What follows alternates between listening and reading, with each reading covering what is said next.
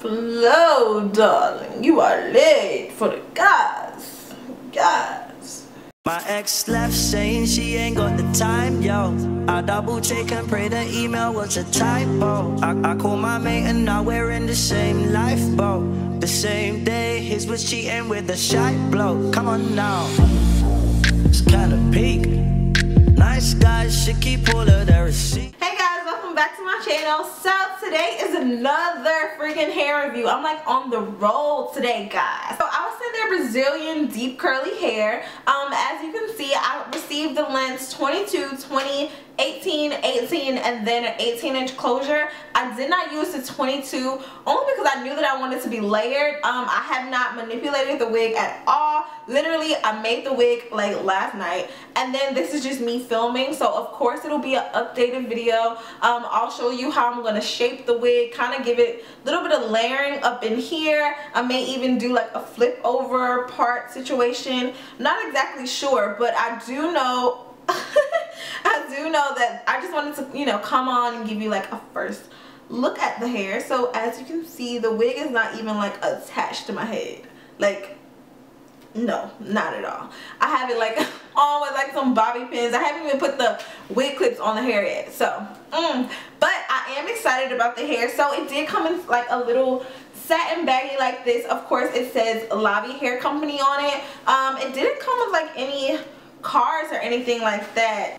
The company has pretty much said that it is um, virgin hair, but I do know that this is a steam process. Um, I will be doing this wig very very light blonde it's gonna be very similar to like my Mercy's hair if you guys haven't seen that video definitely check it out um, it took a lot for me to dye the hair blonde so I'm definitely gonna compare that to this just to see how quick um, the hair bleaches um, along with just the way that it wears um this closure came with like baby hairs. So this is really cute. So it's very similar to I guess getting like a lace frontal which of course I will be getting from another company so stay tuned for that. Um I'm so scatterbrained. What was it I was supposed to be showing you? Alright so yeah so this is the wefting uh this is just a really close-up look at what these curls look like. Um, and they do stretch out pretty far. So I wonder if this hair would even straighten. Maybe I should try that. Um, comment below and let me know if you guys would like to see what this hair looks like completely like bone straight and see if the curls pop back. Um, and this is what it looks like. So it is a steam process curl as you can see. Um, but the curls are really really nice fluffy bouncy and cute. Um, the hair is extremely soft. So the closure, um, I, like I said, I did get a closure and it does have the baby hairs. This is what the closure looks like. Um, I did go ahead and bleach the um, knots on this wig so it helps with the blending a lot more so it's a seamless blend. It does have the baby hairs here on it. Will I actually need this? Probably not.